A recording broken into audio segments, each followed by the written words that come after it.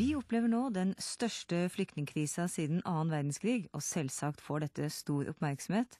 Aldri tidligere har norske aviser skrevet så mye om flyktninger. 23 000 treff får du hvis du søker på 'flyktning' i A-tekst. Saken preger altså norsk offentlighet, men hvordan er debatten? Hva snakker vi om, og hva snakker vi ikke om?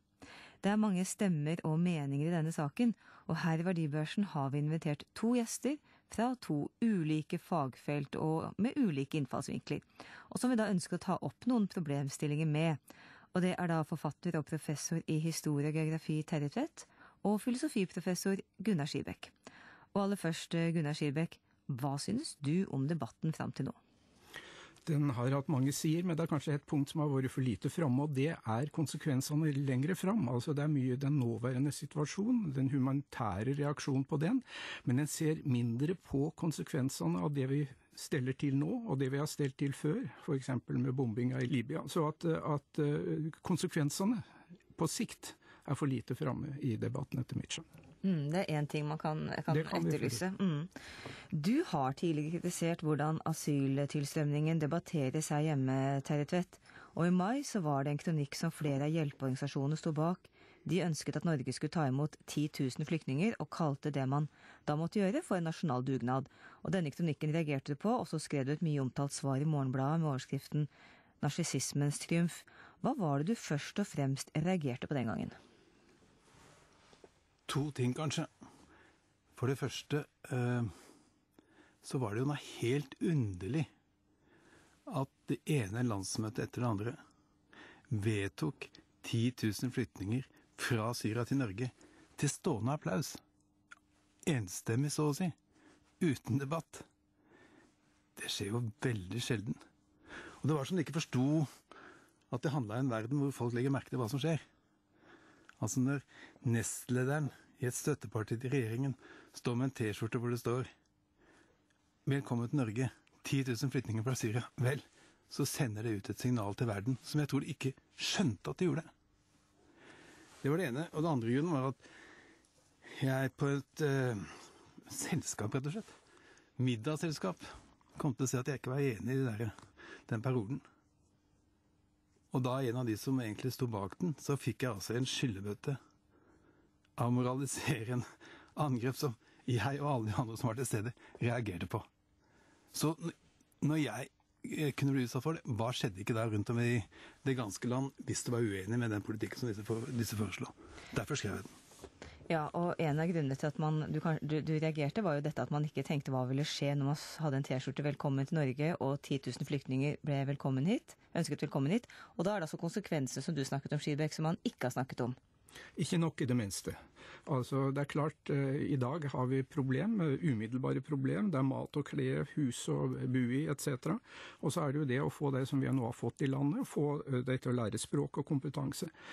Men når det gjelder arbeidslinja, f.eks., så har jo Fafo og det er en del av debatten det også, men det har vært mindre framme, vist til at eh, vi nå står overfor store problemer når det gjelder arbeidssituasjonen. Det er ikke bare spørsmål om penger, men det er å få arbeidslinja til å fungere. For der er det jo to punkt som gjør at det er et ugunstig tidspunkt akkurat nå. Det ene er at økonomien er på hell. Det går uh, ikke så bra med, med, økonomien, og det er stigende arbeidsløse. Det er det ene. Det andre er den teknologiske utvikling, som trolig vil føre til at en god del jobber går tapt i framtida. Og i denne situasjonen skal han altså ta inn store grupper som kanskje ikke er fullt kvalifisert, som mangler iallfall språkkompetanse og kanskje annen type kompetanse, å få inn i dette systemet. Om vi ser tilbake f.eks. på eh, gjestearbeiderne fra Tyrkia til, til, Tyskland etter krigen, så var det jo relativt enkelt å komme inn i industrien på det tidspunkt. I dag så har det helt andre krav til et moderne arbeidsliv vanskelig å få folk på plass, og det kan bli ei spenning mellom ulike grupper. Og vi kan få da eh, en gruppe som har mindre gode arbeidsvilkår og mindre gode lønner enn vi er vant til i det norske systemet. Det som er for lite framme altså En ting er økonomien for å dekke budsjettet i dag, og det er vel og bra.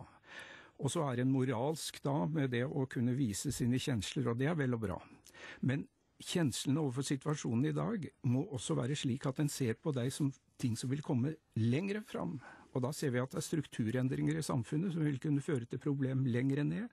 Og det er for lite framme. Og derfor blir den moralske eh, debatten eh, klanderverdig moralsk, fordi den ikke ser på konsekvensene som kan komme lenger fram. Det gjelder nå arbeidslivet. Tilsvarende naturligvis militærpolitisk, men det kan vi eventuelt komme tilbake til klanderverdig moralsk, sa Skibekk her, eh, Terje Tvedt. Eh, var det sånn også du opplevde, at, det, at debatten har blitt, eh, eller var på vei til å bli iallfall veldig moralsk, og at, man, at noen var veldig opptatt av å visste hva som var godt?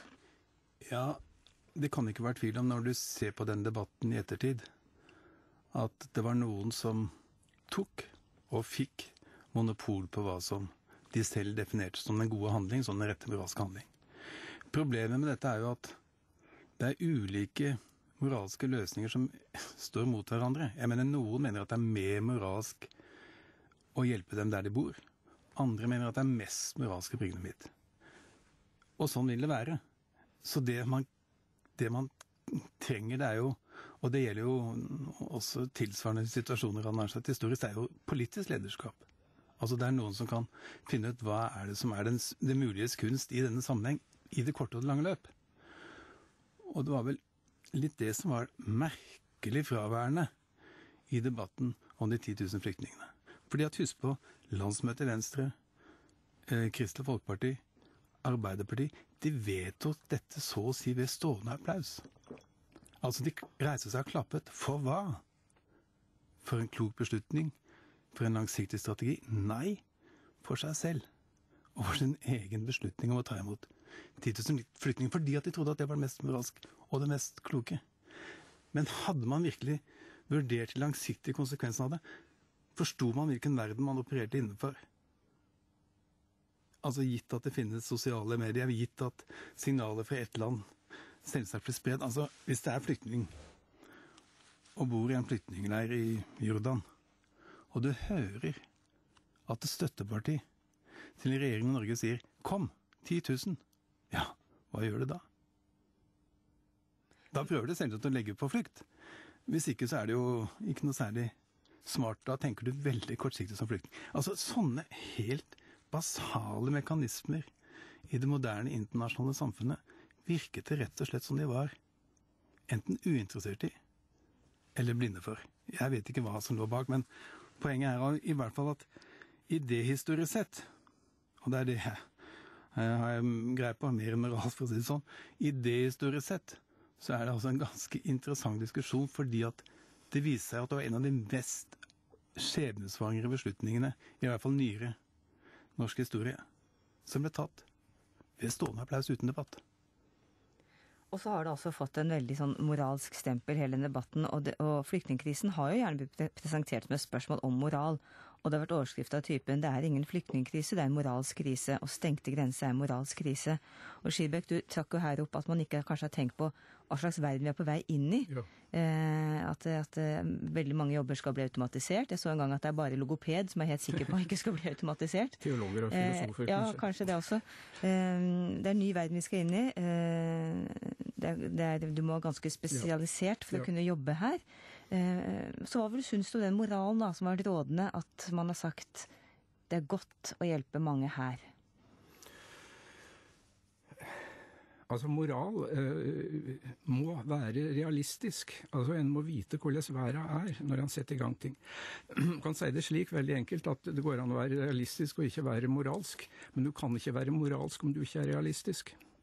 Og realisme i vårt samfunn, som er et komplisert internasjonalt samfunn med teknologi, med store spenninger etc., så må en vite at det en eh, setter i gang, kan få konsekvenser som er uheldige. Og det som har vært vist i disse partimøtene, det viser jo altså hvor uh, uh, ja, mangel på realisme. Det vi nå ser, er jo at det er vær som er naturligvis i, i, i, krise, og at det vil komme langt flere. Det var vel ingen som sto der med stående applaus som hadde tenkt og sett hva som var i dag. Like lite som da en bomba Libya, at en så at dette her kunne føre til at Libya som stat uh, gikk i oppløsning, og at vi fikk våpen utover Nord-Afrika, og at uh, vi fikk naturligvis også flyktningstrømmen over uh, Middelhavet etterpå.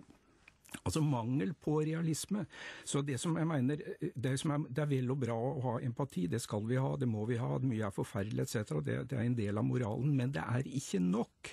Det er ikke nok i dag. Og det er faktisk, en kan si det sånn at en skal både moral her og nå humanitært, og så skal en ha moral på lengre sikt. Problemet er at av og til er de moralske aksjonene du har her og nå, det fører til verre konsekvenser lenger fram. Det er problemet.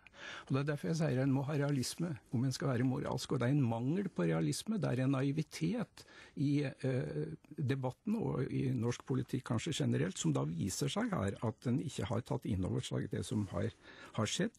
Og det som naturligvis vil skje heretter, det var senest i dag eh, rapport fra FN om alle kriser som er stater som ikke fungerer, konflikter ideologiske, økologiske i tillegg. Alt dette vil naturligvis kunne føre til at dette ikke blir over med, når krigen, må vi håpe, kanskje med Russlands hjelp, blir over i Syria.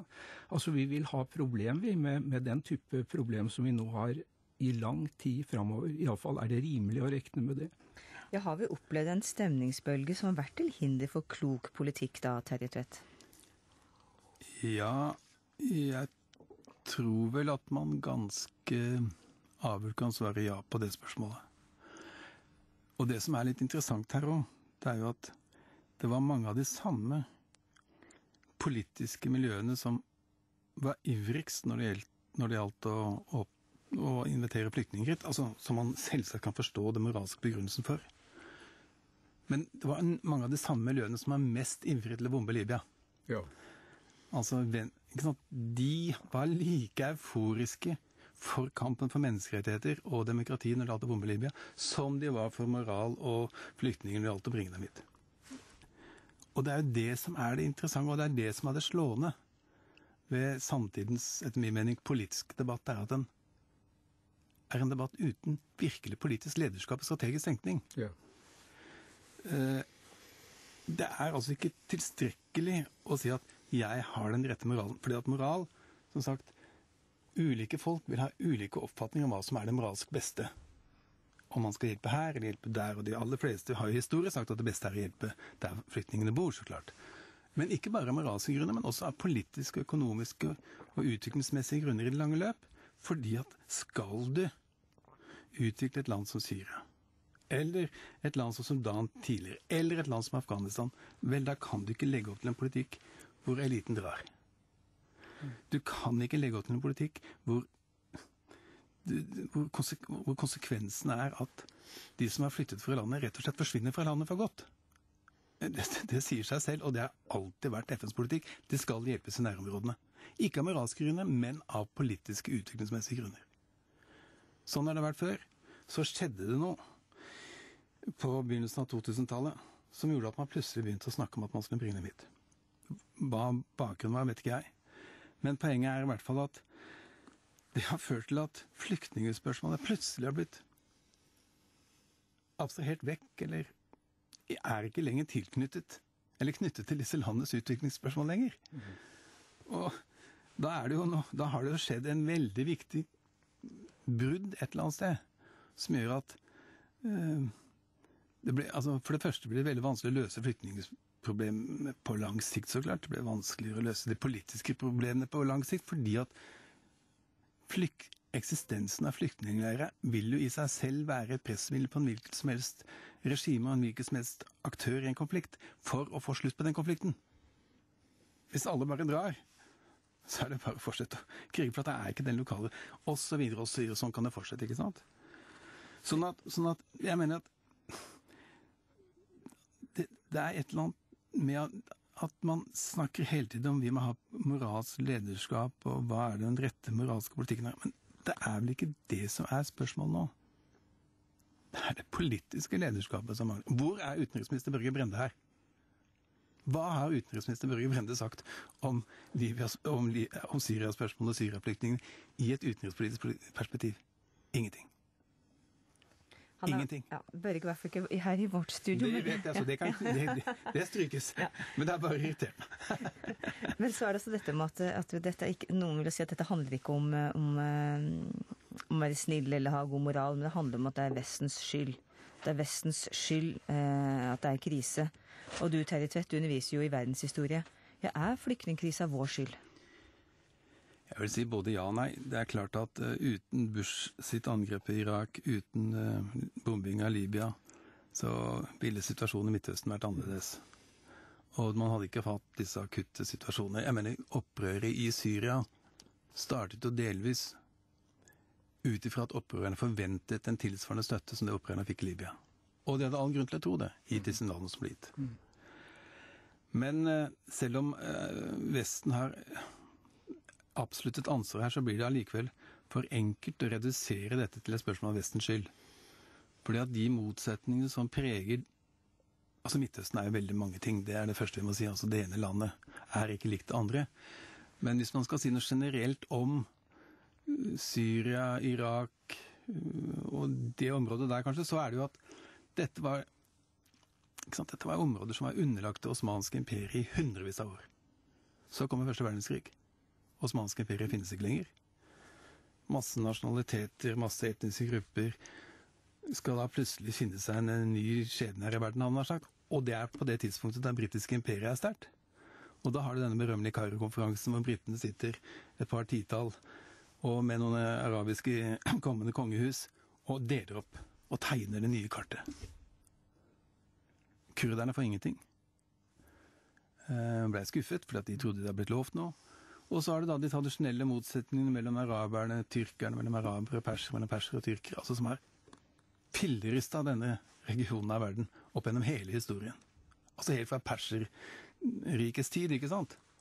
Sånn at å Og jeg mener motsetning mellom shia og sunnimuslimer er jo ikke et vestlig eh, produkt. Så å, å redusere liksom alt til vesens ansvar mener jeg er å redusere rett og slett å oppheve disse folkene og disse nasjonenes ansvar for sin egen historie. Og frata dem det jeg kaller deres historiske subjektivitet. Da. Mm. Du har lyttet til en forkortet utgave av programmet Verdibørsen her på kanalen Alltid nyheter. Hele Verdibørsen kan du høre på P2 i ettermiddag klokka 17.